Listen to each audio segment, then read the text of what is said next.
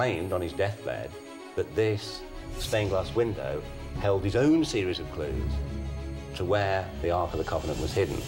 Like a scene from the Da Vinci Code, legend hunters are on a quest to find none other than the Ark that held the Ten Commandments. The clues are so cleverly disguised. Why go to all that much trouble if they weren't trying to hide something of great religious importance? A fascinating mystery for this diverse team. A historian, an actress and model, and even a member of the pop group Air Supply.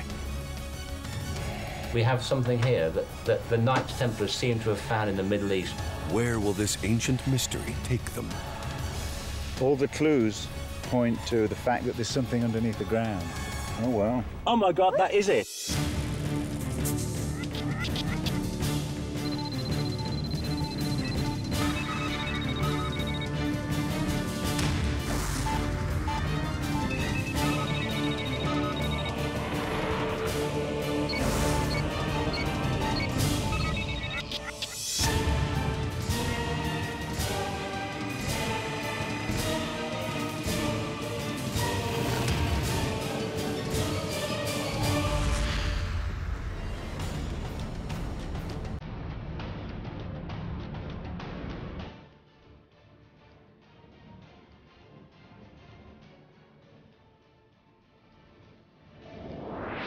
My name is Graham Phillips, and I am the Legend Hunter.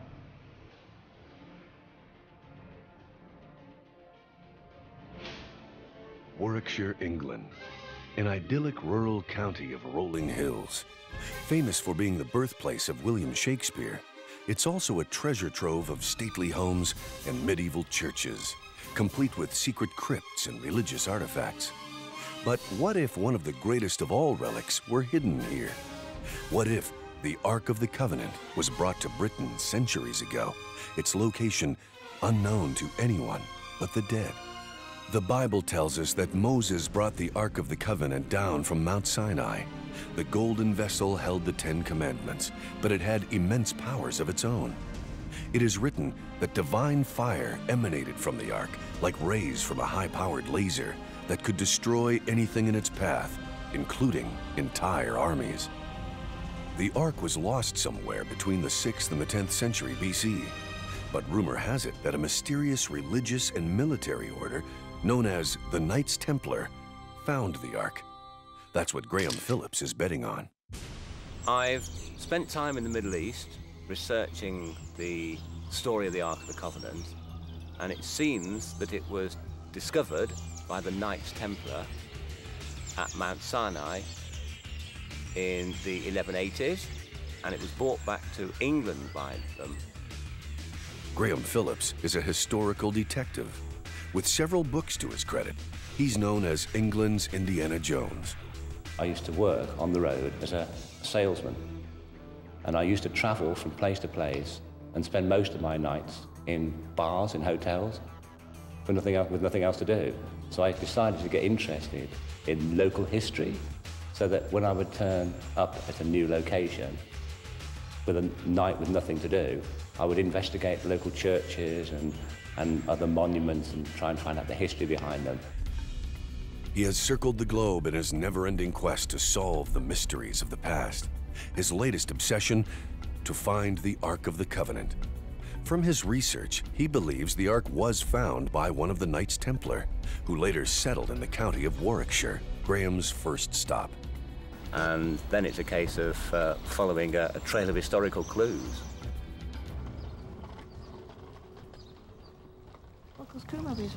Hi. Hello. Lynn. Hi. I'm nice Graham meet Phillips, and you're Clive. Yes, that's Yeah, right. yeah. Very pleased to meet you. Yeah, well, thanks for offering to help me. It's, um, It's all our pleasure. The trail starts with Lynn Picknett and Clive Prince, experts on the Knights Templar. In fact, one of their books inspired the Da Vinci Code, which features the mysterious knights. They were kind of the special elite forces of their day, and they were enormously um, authoritative, enormously wealthy. In the early 1100s, the Knights Templar were formed by a group of knights dedicated to protecting the Christian pilgrims. This group lived as monks and soon evolved into a Christian army, defending the Holy Land. As their power grew, monks weren't the only members. Soldiers and adventurers from across Europe were attracted to the Knights Templar, and by the late 12th century, it had become one of the wealthiest and most powerful organizations of its time. There was a, a kind of hardcore within the Templars that were using the order for, for other means to acquire knowledge, to acquire power, to acquire wealth. Obviously, looking for the Ark of the Covenant with this, you know, uh, the, the, supposed great power in battle is something that would have appealed to a military order. The idea that they went searching for it does make um, a great deal of sense. And for those reasons, uh, basically, the Templars became associated with treasure. After almost 200 years, the Templars were disbanded by the Church, and the King of France, fearing they had become too powerful. But that didn't stop them from holding on to their wealth. And what happened was that the legend says that at this time they hid their treasures, which presumably included the Ark of the Covenant. Mm. In fact, Templar writings speak of one treasure that was so important it was never called by name. Graham believes that treasure referred to the Ark, and that a group of Knights Templar hid it somewhere in Warwickshire. But exactly where is the big question.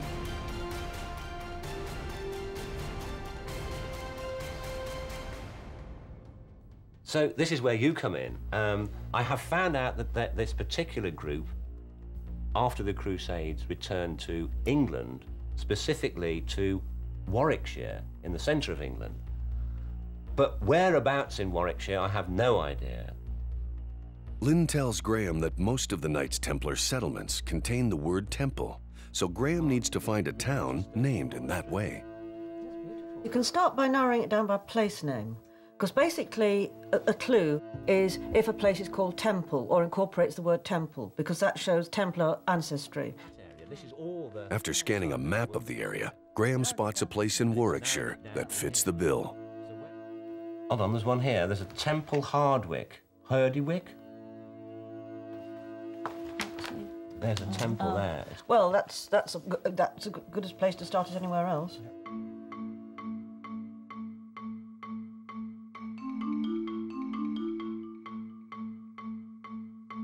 Graham dives into researching Temple Herdewyke. Luck is with him. Graham finds that the group of knights that protected the region in Israel, where the Ark was supposedly hidden, settled in Temple Herdewyke upon their return to England. Everything points to this as the right location. Wasting no time, Graham meets again with Templar experts Lynn and Clive to share his results. You're absolutely right. There were Templars there, and in fact, they are the ones I was looking for. But Temple Herdewyke is only the first piece of the puzzle. Graham learns that those particular Templars then moved to another location in Warwickshire, the Burton Dassett Hills.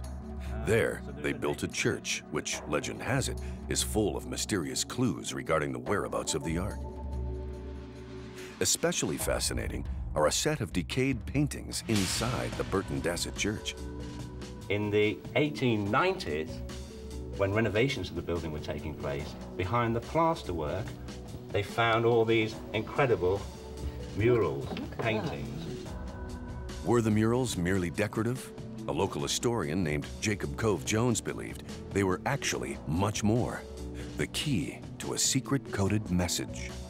So once the plaster came away, although they were pretty good condition then, enough for this guy Jacob Cove Jones, a local historian, to examine them and, and come to the conclusion that they were the Templar code mm. to the Ark of the Covenant. Since that time, they've badly crumbled away, and, and this is all that's left.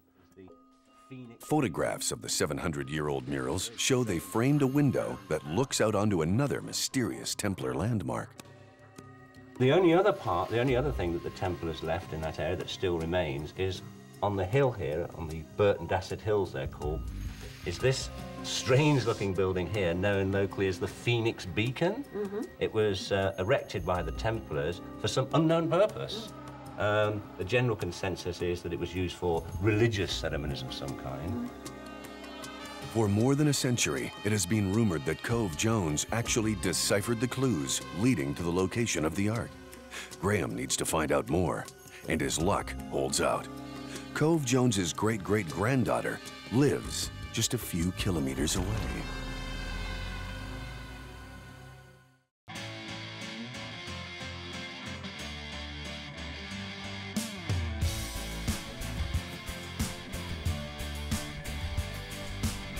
Legend hunter Graham Phillips has come to Warwickshire, England on a mission. His quest to find none other than the Ark of the Covenant. He's discovered strange murals in a Templar church Murals that a local historian, Jacob Cove Jones, believed contained a code to the Ark's whereabouts.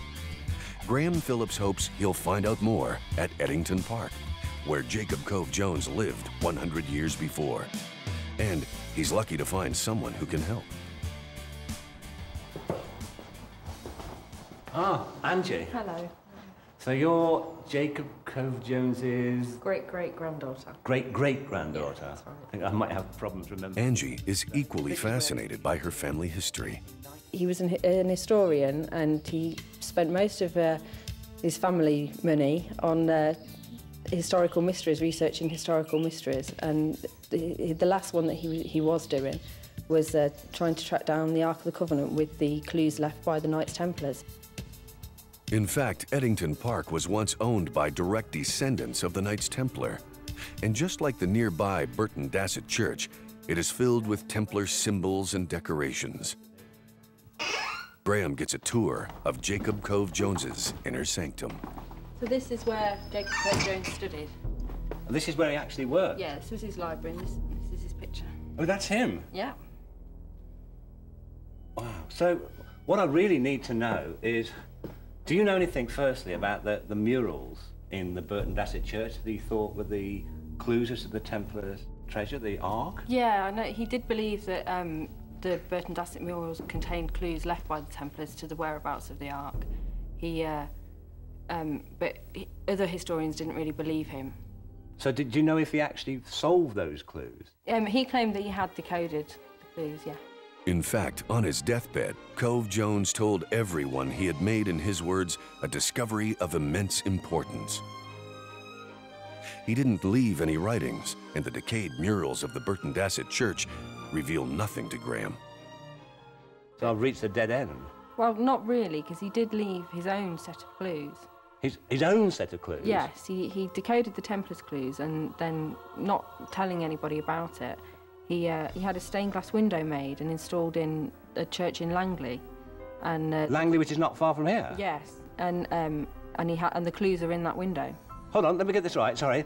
He's he solves the clues that are in the Burton Dassett murals. Yeah. He doesn't tell anybody. He knows where the Ark is, but for reasons best known to himself, he doesn't go and look for it. Yeah. And he leaves his own set of clues as to where it is. Yeah, in the stained glass window in Langley Church. I- I- Is it still there? Yes, yeah, it's still there. Can we go and see it? Yeah, we can go there. Let's go. Okay.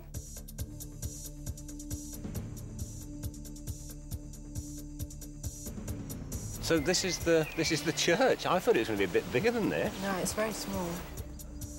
It doesn't take long to spot Cove Jones's window. The size of it surprises Graham too, but it's crammed full of fascinating symbols. It's, it's called the Epiphany window. Epiphany is the 12th night of Christmas, the 6th of January. And it's when the three wise men visited baby Jesus and gave him their three gifts of gold, frankincense, and myrrh. So, have you any idea why it doesn't show the Ark of the Covenant? I mean, have you ever, I mean, any idea why it shows that particular? No, none whatsoever. And if the window does contain clues, I wouldn't have the first idea of how to begin deciphering them. What these clues might be, I, it's, it's difficult to tell. But firstly, you've, you've, you, it doesn't show the Ark of the Covenant. It shows the three wise men visiting the baby Jesus on Epiphany Day. It's actually called the Epiphany window. And Epiphany Day is the 6th of January. How did they find Jesus? By following a star. Should we be following a star to lead to where the Ark of the Covenant is hidden? Is that what he's trying to tell us? In fact, stars have important associations to the Ark of the Covenant. The Ark had two angels carved into it, and angels were thought to be embodied by stars in the heavens. The Ark's particular angels were associated with the stars Benetnasch and Mizar. Could that be what the letters B and M in Cove Jones's window stand for? Is there a time on Epiphany Day which we should be observing these stars? Well, yes, there is. Here we have a cock crowing, and the Christian tradition is that a, when the wise men were guided to Bethlehem by the star, the exact location of the whereabouts of Jesus in the, in, in the stable was finally revealed when a cock crowed at midnight. Is Jacob Cove Jones trying to tell us that at midnight on Epiphany Day, you should try and observe the two stars, the two tail stars of the Big Dipper, Benetnasch and Mizar. The next question would be, where would you observe it from? Then, Graham has an epiphany of his own. He remembers the mysterious Templar structure near the Burton Dassett Church called the Phoenix Beacon. Could the phoenix depicted in the window refer to the Phoenix Beacon? Could that be the place to observe the stars? And if so, what could this observation tell them? Something else which is really interesting, this really weird shaped um, object here, which is presumably supposed to be one of the wise men's gifts of gold, frankincense or myrrh, is almost exactly the same shape as that beacon on top of the hill. So go to the beacon on top of Burton Dassett Hills on Epiphany Day at midnight, see exactly where those two stars are. Do they point to a place on the horizon? Is that where we're supposed to go? And when we go there, what are we supposed to find? But stars are aligned differently at different times of the year. Graham has to figure out the position of the stars as seen from the beacon on the night of the Epiphany. And once he has the position, what will the stars point to? Should he look for the ark or a red archway as shown in the window? There are more questions than answers. Now, having looked at the window, I'm going to have to try and I'll have to sit down and try and work out uh, if there really are any clues in it or whether it's just a, a family legend.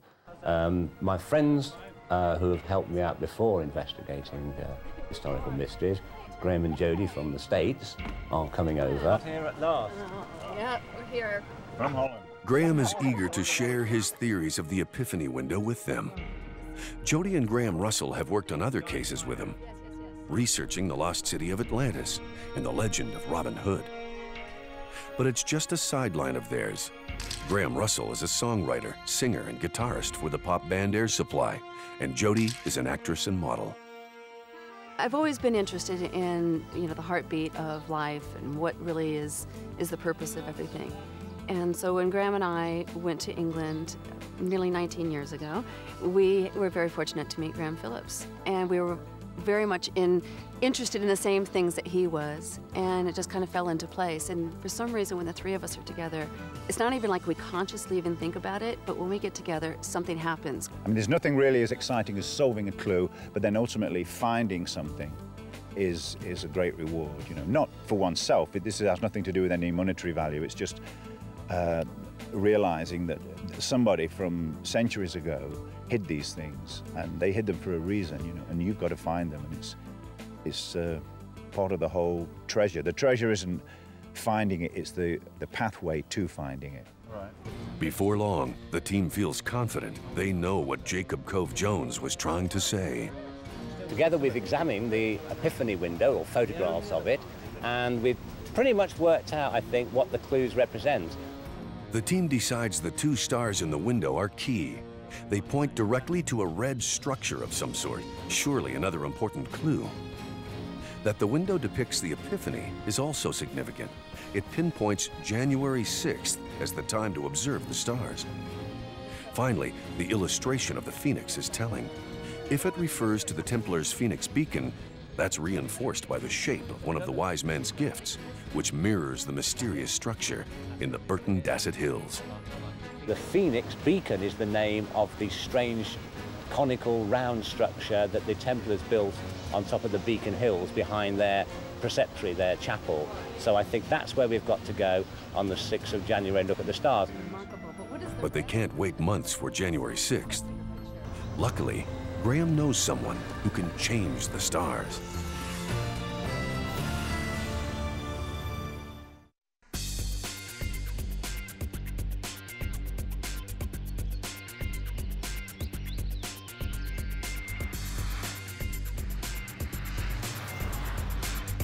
Traveling through the English countryside, legend hunter Graham Phillips is hot on the trail of the Ark of the Covenant, the vessel that once held the Ten Commandments.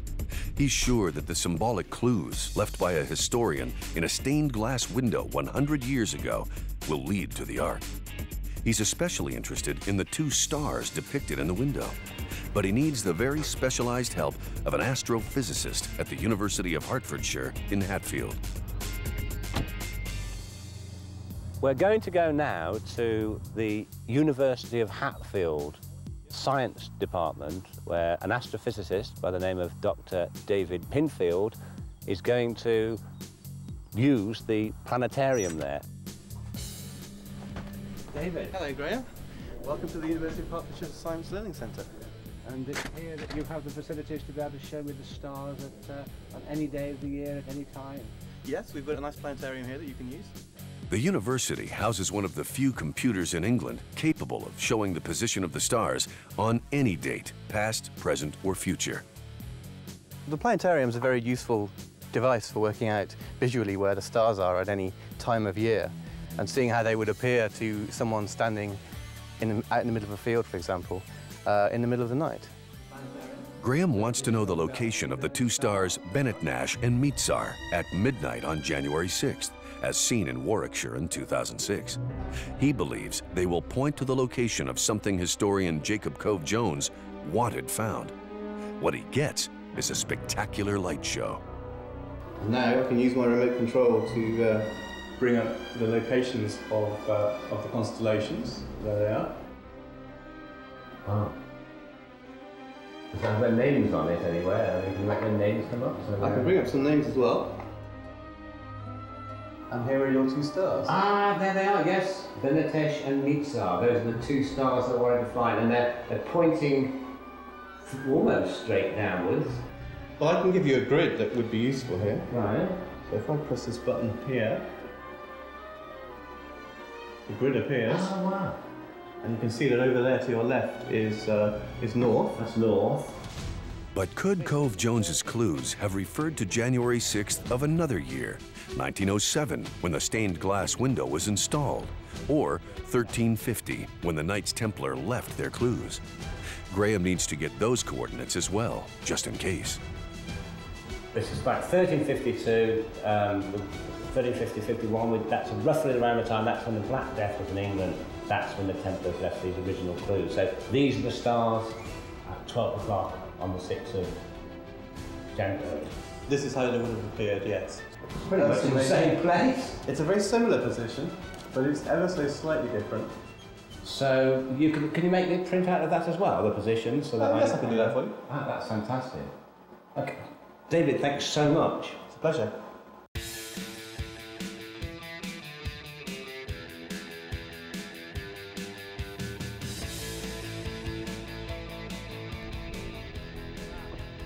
Meeting up with Jody and Graham Russell at the Phoenix Beacon, the team gets to work. With the aid of their star map from the year 1350, they plot out the two stars' positions in the sky. By dropping a line from the stars to the horizon, they pinpoint a little place they have never been to before Chapel Green.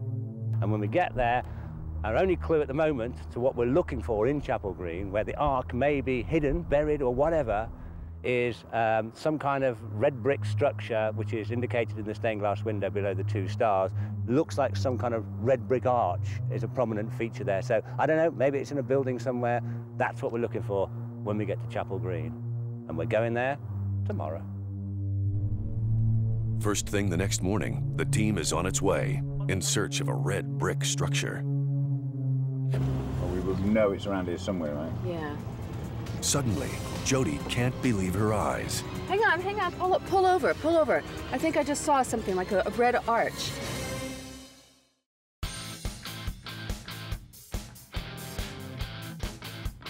The team of Graham Phillips and Graham and Jody Russell have been traveling across the English countryside in search of the legendary Ark of the Covenant, hoping that clues found in a stained glass window will lead to the ancient relic. Now, they've arrived at the village of Chapel Green, looking for a red structure matching the one in the window. Jody can hardly believe it, but she has spotted something almost identical. What? There's nothing Yeah, back, here. yeah, back up, Graham. There's nothing. No, a little thing, just a little thing. It looks just like this. Back up. I can't See? stay too long on the curving. Right there. Oh my God. Look. I can't see it. What is it? Oh, oh wow. try and pull up, pull up over there. Yeah. That is it. Yeah, darling, pull up over there, That and then we that- can, we can really it. go What is back and look at it. I don't know, but it looks Put just like there. this archway, and it's red, and it's red. It is. red. yeah, gotta I be know. I just I didn't have a good look at it, but it, what the hell is it? It's just on its own beside the road. Yeah. Oh, wow. Just too coincidental. I'm not saying it's red, it's an right here in Chapel Green. Oh no, this is this is exactly. I mean, that's got to be it. But what, I was expecting a big arch. Well, I was expecting a castle. Well, no, I mean, the arch itself is part of something else, like a a, a church or something. right. like- Examining the arch, the team decides it's a drinking fountain, certainly dating from Cove Jones's day. This is a Victorian thing, I reckon. You can tell whether it's like red brick. If the Knights Templar hid the Ark anywhere, it would have been on hollowed ground. Since the area is called Chapel Green, it stands to reason that a chapel once stood there. So the fact that they found a drinking fountain is significant. Old chapels in medieval times always had a holy well attached to them, which is a natural spring, which was considered to have curative properties. And very often, in uh, when these fell into disuse in later times, springs or drinking fountains were built over them. Right. And this could be very one such thing. I mean, this is, looks Victorian to me. Right. And this has got to be what he was alluding to. Yeah. Now, could this behind here have been, if, if that was the original holy well with that little drinking fountain, red brick arches, then the chances are that the chapel would have been there. Well, how do we find out about it? I mean, if there was a chapel here, how do Well, we let's go go, about let's go ask finding the farm. I mean, the farm. Where's the farmhouse for this? That must be it there. It's got to be here. Graham asks one of the local farmers, who confirms his suspicions. A chapel did stand there at one time, built under strange circumstances. When they came to build the original church here in Chapel Green, overnight the stones were mysteriously moved to the top of the hill in Napton, and the next night they were moved back. And um, so they then built the original church on top of the hill. So that was that was the legend, and that, that could basically relate to this area here. I mean, yeah, the somewhere in Chapel Green. Graham checks out the landscape. The field has never been excavated, and that gives Graham hope. I'm here this afternoon. in fact. He calls his friend I mean, Malcolm Wheel, a radar technician with GeoPhys Limited, who has special ground penetrating equipment. Hi there. Um, it's it's Graham. Yeah. I, I, if you're working nearby, um, where we are, we're just near Southam in Warwickshire. That's right. Do you could reckon you can get over here this afternoon?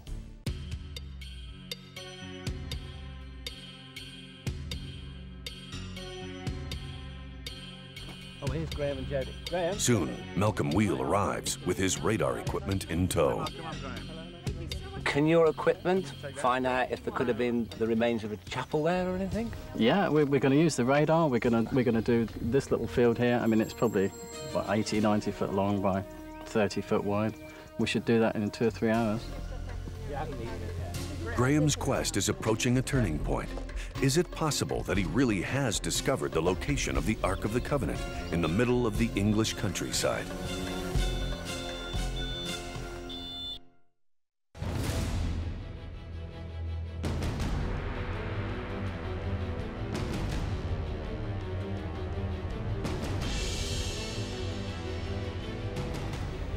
Believing they have found the place where a medieval Templar chapel once stood, Graham Phillips, along with his research team of Jody and Graham Russell, are convinced this is a site of great significance. With the help of Malcolm Wheel's ground penetrating radar equipment, Graham hopes to find the Ark of the Covenant buried deep beneath the ground. I've looked for lots of strange things, and I mean, the Ark of the Covenant could be here. It's not been discovered, so it could be here. It could be anywhere. But based on what Graham's told me, there's a very good chance that we could actually find something. We're going to use the very latest ground radar here, and we're going to send 40 electromagnetic pulses into the ground that, that will go down about 18 meters. And if there's anything in the ground, like any buried objects, like metal objects or foundations, the, the radar signals bounce back from that, and we build up a 3D image of what's actually under the ground. But after several hours' work, there is nothing to be found. I was hoping that there might be an outline of walls to show there was originally a chapel there, foundation of stones, or even better, that there was a large object, metal object, golden object, that could have been the Ark of the Covenant. Unfortunately, there was neither. There is no evidence from that ground sensing radar, which seems to be able to go down to 18 meters, that there was no foundation stone. Refusing to give up, Graham surveys the area. The they have overlooked the obvious. here. There is another place the chapel might have stood. In front of the drinking fountain, rather than behind it, where they had been searching. Right now, it's a paved road. But when this road was modernized years before, a lot of earth had to be removed. And any trace of the church would have been removed right along with it.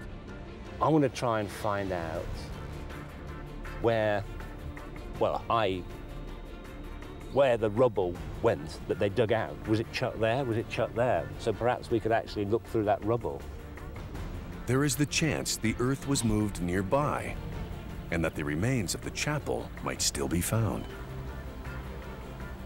I'm going to have to try and find out somewhere in the area where this rubble went to. I'm going to ask around. So if you can perhaps go and uh, look around to see if there's any other clues on, in the stained glass window, pictures. Right.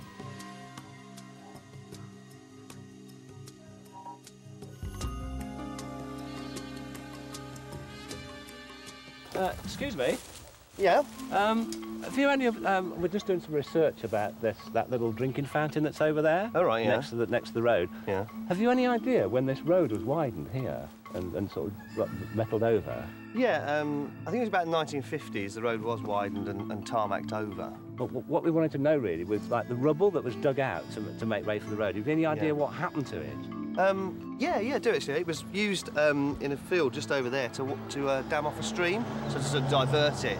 So it was taken over there, so it's not too far. Could you like point out where it is? Yeah, it's lit- literally sort of see the house there. Right. It's a couple of fields over from there. Okay then. Cheers. Thanks very much. No problem. Graham brings the news to the rest of his team. Well, Hey. hi. right. I found out that the rubble from the road. But some guys told me that it was used to divert a stream Oh, wow. in the fields just over there. Oh, So I think we need to sort of check that out, really. But I mean, it's getting on a bit, so It's going to be dark soon. perhaps we do that tomorrow. Yeah. Okay then. Cool. Cool. Let's go. The next step is that myself and Graham and Jody are going to have a look in that area, try and find that rubble that originally came from in front of the arch here, to see if at least there's any evidence that there was a chapel there, perhaps finding stones from the original chapel, and that's our next stop.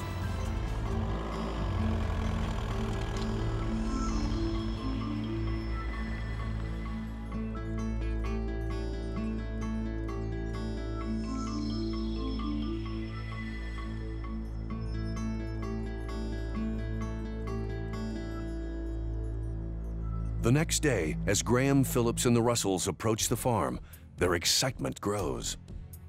I managed then to check out with the County Records Department early this morning and found out exactly where this rubble was placed. This is the spot here. So this is where the uh, rubble was apparently used to uh, sort of shore up the embankment. Ah, yeah, look, hang about. There's something here. These. Wow. That is definitely a cut stone. That's not a natural one. Definitely. So that has What is- come from the rubble under the road, and and has these as well. This could very well be one of the stones from the original Right. chapel. I think we must. I think we're right. This is this is promising. well, and these are definitely not naturally formed. I mean, that's perfectly square. Graham thinks it's a sure sign they found the remains of the old church from Chapel That's Green. Perfectly square. See, this is what I was hoping was going to be found under the ground in that field, but it's clearly now uh, obvious that it was it was, been on, was under the road, like I suspected all along. If they have indeed found the remains of the chapel, pointed to by the clues in Cove Jones's stained glass window, the team may also have found a direct line to where the Templars kept the Ark. Keep looking for things with The trio splits up to cover more ground.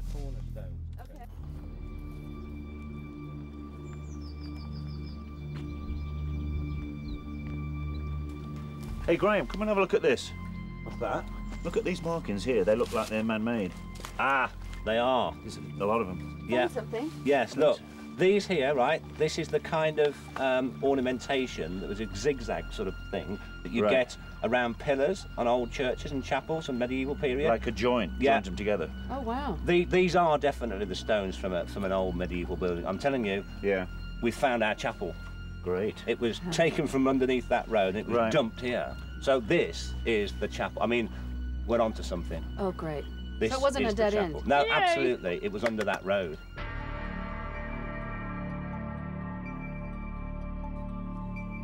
Then, as the team continues to search, Jody once again makes an extraordinary find.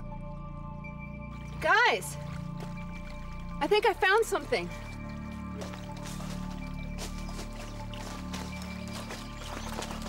Looks like it? it? Yeah, it looks like it's got something. Look, it's Wow. got something carved on it. Oh, Jesus.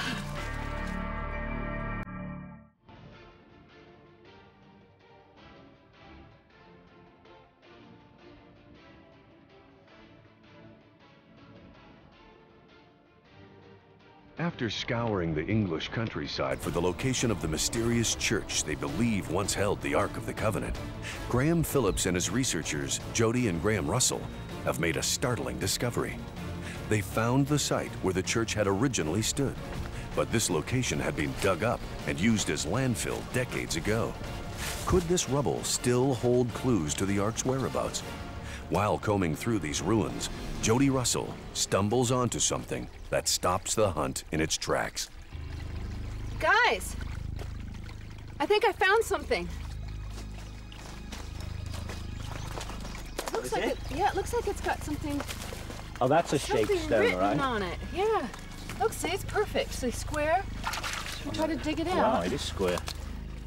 That is definitely, yeah, that's a, that's a man-made stone or a shape. Yeah, See, it looks like it's got something etched same- in it. is that writing on it? Yeah, see that? It's coming Does out. it it's like out? a slab. Be careful. Oh no, I will. Careful. Wow. That's definitely a that's definitely a, a part of a, a building or something. Oh, it's too perfectly square, isn't it? But it's still rock.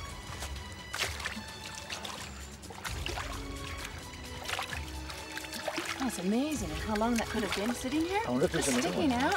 I mean, that's what I saw was that sort of that looks like Those are a, letters. Hold almost on. like a Y. I could see it. that, there's a Y. That could be an inscription from maybe off the off the chapel Wow. wall or or grave marker maybe. Is it Latin? Hold on, we'd have to clean this up more. Let's get this.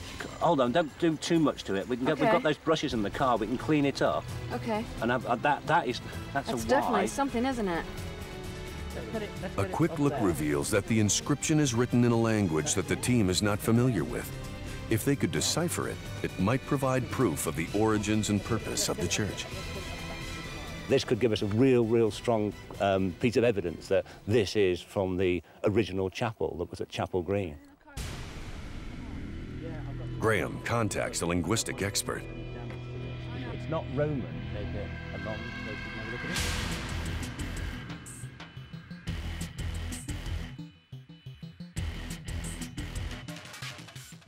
Remember the linguist that I said that uh, was an expert on European and Asiatic languages? Sure. Um, I sent her a email with a picture of the stone, and she's really quite excited. And she said that uh, she wants to meet with us and basically tell us what she thinks it is. The expert has told Graham she has photographs of script that look very similar, but hasn't told him anything else about the markings. At the moment, she's at the Shrewsbury Museum, about 30 miles away. So we could go there this afternoon, and uh, she'll reveal all to us. But she apparently she's very excited. Gila Kalimi is an Israeli linguist, an expert on the origins of Middle Eastern languages. After examining the piece, she has come to a conclusion about its origins, and it's what Graham and the Russells have been waiting to hear. So, Gila, as I was, I was saying to you on the phone, what we thought about this stone is that it was probably brought back by the Templars from the Middle East, because it's certainly no form of writing that uh, would have been used on ecclesiastically in a British church. So it's not like Latin or it's not Greek. I mean, if it, we're thinking it may come from the Middle East and it may have been something that the Templars brought back with them. So do you recognise th- this script at all? Is, I mean, is it, for example, any form of Hebrew? Well, it wouldn't be Hebrew as we know it today, uh, as the Hebrew we use today was formed around 950 BC. Right. Uh, but this looks like what used to be um, the Proto-Sinaitic uh, script that would have been used around 1500 BC. And this is this is an early form of Hebrew. It is. Right. yeah. Um, if you look at the stickman, Right. uh, for example, that would have represented uh, the letter Hey in Right. the Hebrew alphabet. Right. Uh, you've got this thing here, uh, which would have represented the letter Yod Right. in the Hebrew alphabet, and then you've got the uh, this letter, uh, which looks like the Greek letter epsilon, Right. uh, which would have represented the letter Vav. And, and what does those what does that mean? It's actually very interesting uh, because one of the names of the God of Israel, Right. uh, one of the probably most important ones uh, mentioned uh, in the Bible, uh, would have consisted of the letters uh, Yod, Hey, Vav, and Hey again. So this could be talking about God in an early form of Hebrew. It could be. I mean, there's the idea here of uh, God outstretching his arms uh, to man. So you can probably see some kind of a So this connection there. You, you'd put this. You'd, you'd got this up here for at first when you'd seen this earlier, and you would Yes. said this was something. thi- This this the proto. What do you call it? Proto-Sinaitic. Proto-Sinaitic script. yes. And this dates from when? Do you say about 1500 BC? Yes, this was found in a, in the Sinai area, uh, a place called Serabit El Qadim. Uh, and if you look at uh, some of the symbols, uh, they Oh, are this is identical. similar, The- if the not Y identical. Oh, yeah, we were wondering right. about that. To That's that. right. And the stick man. That's right. I mean, you have to appreciate that uh, the Proto-Sinaitic script uh, hasn't been uh, completely deciphered. But could, could this sandstone, we know this is sandstone, but could this be from the same area, from the Sinai wilderness? I is would that say, possible? yeah, I would say by the colouring on the stone. Because it looks very, It is very Very similar. similar to this one that you The striation. Hold on. There's, there's something. There's, sorry. There's something that just struck me right about this. Is that right? You're saying f- firstly that this is some early form of Hebrew that predates Hebrew as we now know it. That's right. So before 950 Right. BC. If Wow. and and this this text comes from Sinai wilderness. The Sinai, mm-hmm. yes. Sinai wilderness. Well, isn't, isn't that what- we're talking? This might sound a bit crazy, but the Ten Commandments Was supposed to be in the sup- Ark of the Covenant. Yes, and they were supposed to be. They they were made from the rock from Mount Sinai, and they were made at some point around about 1350 BC, when Moses was kicking around. Right. I mean, was this the kind of script that was in use at that time? Yes, it Wow. should have been. It would have been. Graham may have gotten in deeper than he expected, much deeper. Is it really possible that he has discovered a piece of the most holy artifact of Western civilization, the Ten Commandments? He pauses to question what they've found. Could the Templars have faked something like this? No, because the Templars wouldn't have known how. What would they have They written would have used. They would have used Hebrew. As we now know it. Yes. So this, so this kind of old text wasn't rediscovered until more recently in archaeological That's right. time. So it's definitely not a fake. It can't be a fake. I my assumption would be no. It can't be a fake. Well, i this is absolutely fantastic. I mean, I bought the stone for Gila to have a look at because I thought it might have been some medieval text dating, uh, coming from the Middle East. But Gila suddenly identified it as an early form of Hebrew called Proto-Sinaitic, which was the early form of Hebrew that was used before 950 BC, you know, a couple of thousand years almost before the Templars, well, over a couple of thousand years before the Templars. Um, and it was, the, it was a writing that would have been actually written at the time of Moses, say 1350 BC. What's more incredible than that, it actually originates from the Sinai wilderness.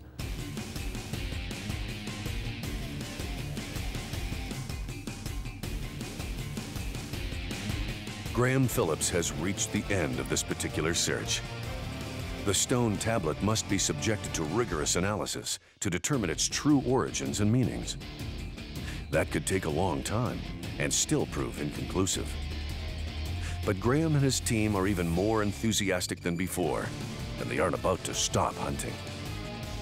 I am going to continue the search for the Ark of the Covenant, and we've got to keep searching because somewhere in that area, at, at the end of that trail of mm. clues, There has the Ark is waiting to be found. I agree. Oh, absolutely.